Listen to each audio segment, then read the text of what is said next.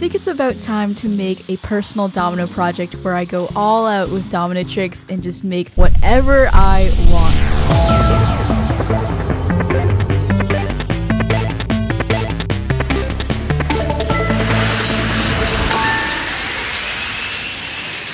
What's up, Domino community? Now, it's been about a year since I made my last personal record domino video where I just made a huge setup that covered the entire floor. It didn't have any theme, it was just a cool compilation of domino tricks all in one large space. And I am really excited because I'm going to be starting a new domino project in the same style as my last personal record. I don't know if it'll actually be a new record. I might not have time to actually set up more than 32,000 dominoes, but my plan and my only goal for this domino project is to fill the entire floor space. Now, I might not use my kitchen like last time, I might not use the hallway, but at least the main floor area, I'd love to see that filled and just crammed, jam packed with dominoes, with not a lot of floor space um, showing. You know, I really want to make the most of the space and build tall, use use structures, maybe use the wall in some way. But that's what I'm going to be doing, and I'm super pumped. So I just wanted to make this quick voiceover video to talk you through my process for how I make personal domino projects, specifically for this one, because I actually don't have any ideas list. Previously, I made an ideas list of things I wanted to build, but for this one,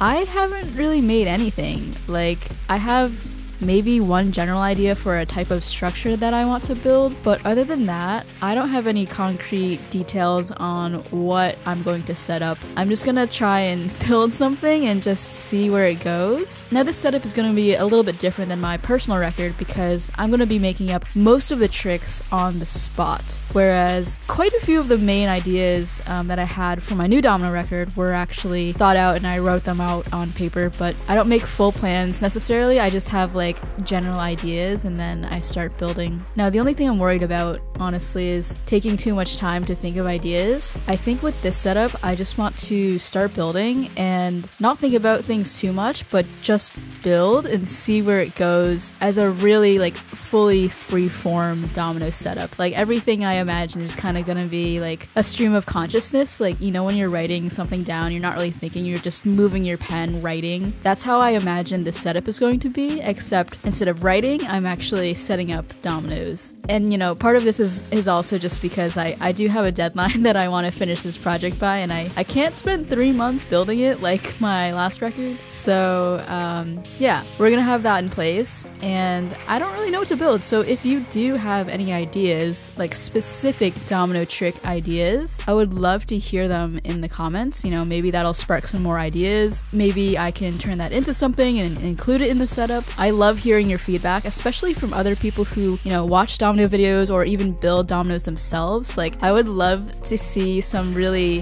high level, like intricate ideas, like crazy ideas, and maybe I could actually bring it to life if you feel comfortable sharing that in the comments. I don't know how this setup is going to turn out. It could end up being very chaotic in the sense that, like, the last time I did a project like this, I think was my, it was called the riskiest domino setup ever or, or something like that. And that project failed, I think, like three times. And yeah, it's just, uh, it's very, very chaotic.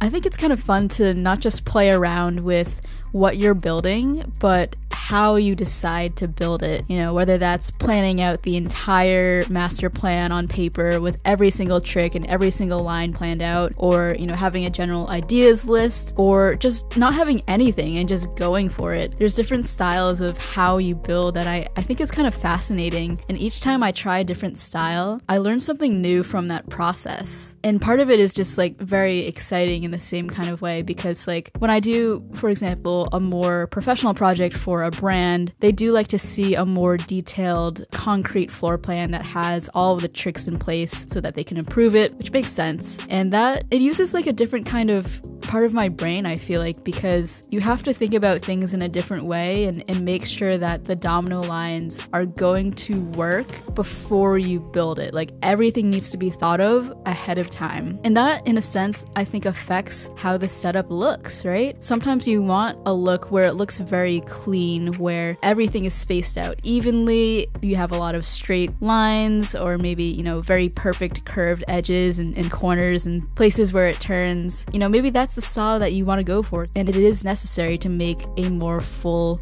plan. Other times, maybe you are going for a more chaotic style that just goes all over the place, it switches back and forth. You have tricks that maybe you didn't expect to see topple, but you know, once you start watching the video, you're like, oh, you, it surprised you, right? And then maybe there's another type of setup where like you have no idea what's going on, which like can be kind of fun in a way to like figure it out as a viewer, but also it just gives it a lot more variation in terms of the projects that you make and can be just a cool learning experience. So that's what I'm gonna go for with this project.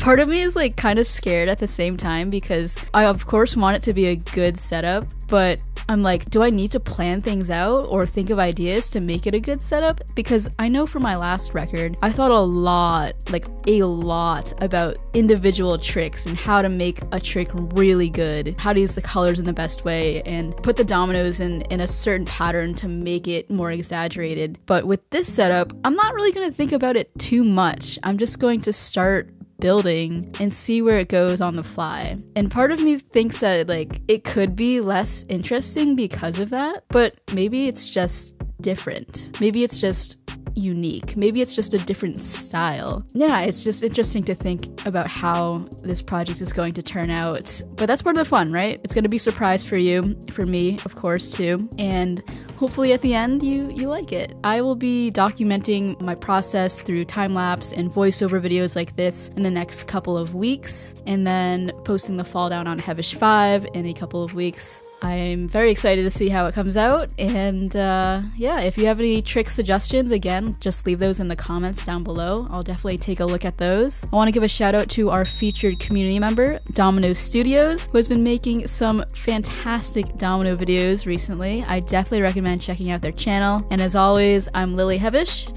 and keep on building.